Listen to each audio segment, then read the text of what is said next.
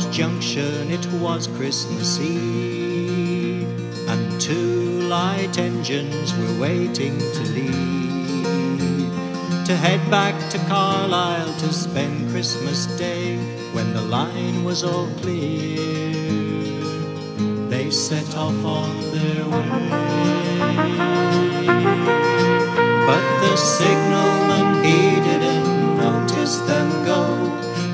they had long gone, he wasn't to know. So the signal stayed up as the express drew near. When it got to Hawes Junction, it saw the all clear. Through Moorcock Tunnel the light engines passed. The day's work now over, their speed was not fast. But the express was rushing to make up lost time, and the dark in the tunnel hid the rest of the line. Number two engine driver first heard the dread sound. His heart missed a beat as he slowly turned round.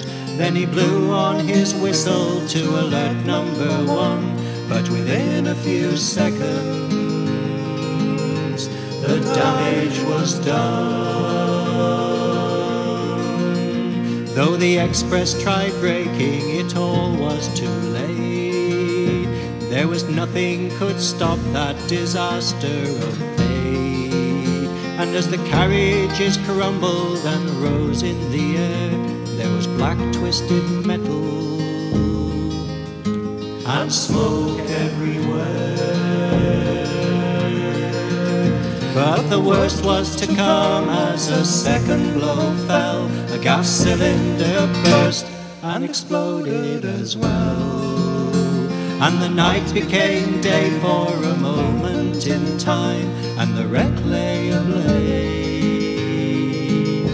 as it littered the line.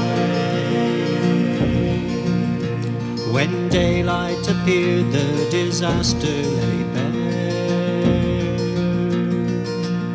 People trapped in the wreckage, their cries filled the air. When they brought out the bodies, there were nine people dead, and scores more were injured.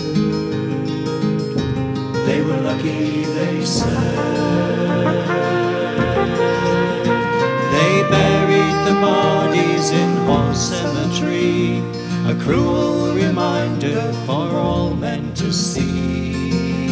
And though many have died on that same line since then, people still talk about Christmas Eve 1910.